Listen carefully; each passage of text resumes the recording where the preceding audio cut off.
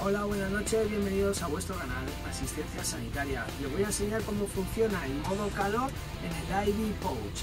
Muy fácil, cogeremos la pastilla de calor y el metal que tenemos aquí, comprimiremos y se empezará a cristalizar y empezará a dar calor.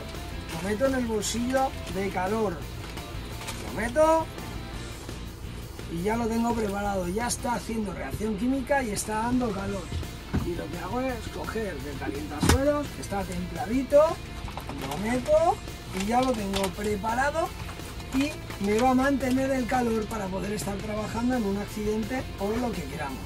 Acordaros que nos lo podemos colgar